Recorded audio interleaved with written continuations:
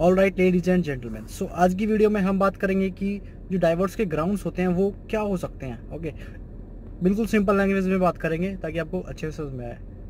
एक होता है कि जो सेक्शन थर्टीन है ना, उसमें कुछ ग्राउंड्स दे रखे हैं। ओके जैसे कि क्रियलिटी विरलिटी तो क्वेश्चन यही आता है कि हम उन्हीं ग्राउंड्स पे डाइवोर्स ले सकते हैं या अगर कोई हमारा पर्सनल जो हम किसी चीज़ को भी बना के हम डाइवोर्स ले सकते हैं? तो answer of this question is yes आप किसी भी ग्राउंड पे डाइवोर्स ले सकते हो। लेकिन जो शर्त है, वो क्या क्या है, वो सुन लो।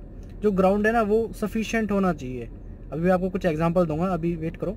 और जो बर्डन ऑफ़ प्रूफ है, वो आपके ऊपर होगा, ठीक है? यानी कि जो सेक्शन थर्टीन में दिए हुए हैं ना, कुछ ग्राउंड्स रिलीजियस चेंज करना, जो आप पढ़ते आए हो या सुनते आए हो अभी तक, जो वीडियोस में तो ज़रूर नहीं है कि आप उसी ग्राउंड पे आपको मतलब उनसे आप बाउंड नहीं हो। आपको अलग से भी, जैसे कि मान लो कोई पर्सनल प्रॉब्लम है या कुछ भी, अभी मैं आपको एग्जांपल दूँगा, उसके ग्राउंड पे भी आप डाइवोर्स केस फ़ाइल कर सकते हो। अब कंडीशन ये है, जो बर्डन ऑफ़ प्रूफ है वो आपके ऊपर लाई होगा। सेकंड जो डिस्क्रिएशन पावर है ना कोर्ट की उस पर डिपेंड करता है कि वो जो ग्राउंड है वो एक्सेप्ट करता है या नहीं। Let me give you example okay एक क्या है एक क्या था? केरला में केस था ठीक है?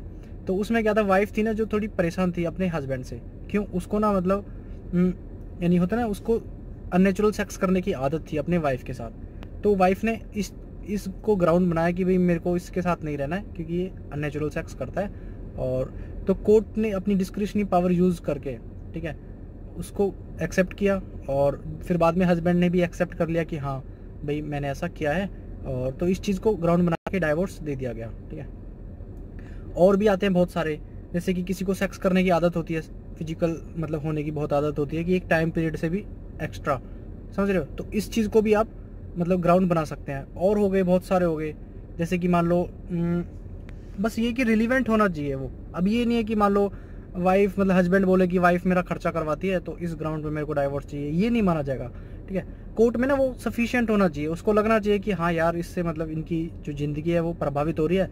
अब जैसे कि एक एक और देता हूँ मैं। जैसे कि मान लो सपोज़ किसी की वाइफ है ठीक है?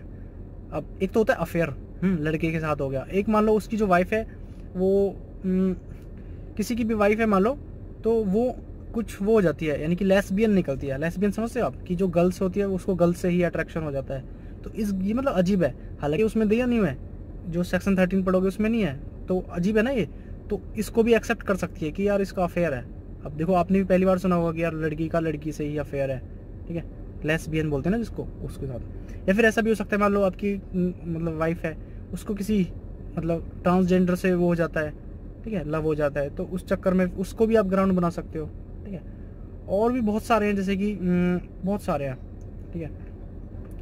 मतलब होते तो ये अजीब से ही हैं, बस ये कि आपके मॉरल ये है कि आप ग्राउंड अलग भी बना सकते हो। बस ये कि वो रिलीवेंट होना चाहिए और जो बर्डन ऑफ़ प्रूफ है वो आपके ऊपर लाई होना चाहिए। मान लो आपने लगाया, ठीक है?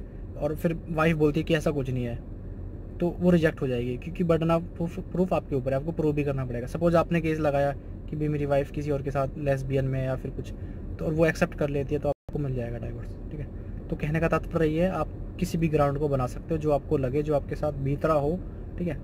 आप कर सकते हो। वो डिपेंड करता है कोर्ट की डिस्क्रिशनरी पावर के ऊपर कि वो उसको एक्सेप्ट करता है या नहीं, और उसको बर्डन ऑफ़ प्रूफ आपके ऊपर लाई करता है okay so I hope it's clear तो ये नहीं है कि जो उसमें सेक्शन थर्टीन में दे रखें उसी के ऊपर हम निर्भर हैं। ऐसा कुछ नहीं है, आप अपनी तरफ़ से भी कर सकते हो कोशिश ओके और अगर आपने हमारी जो डाइवर्स ना लेने वाली पार्ट्स वाली वीडियो नहीं देखी है तो आप उनको देख लो। काफ़ी अच्छी हैं तो आपको क्या पता विचार ही बदल जाए, ठीक है? तो मतलब ले सकते हो आप okay so I hope it is clear अगर आपकी कोई पर्सनल क्वेरी है इसी रिगार्डिंग तो आप हमें इंस्टाग्राम की आईडी पे हमें कांटेक्ट कर सकते हो।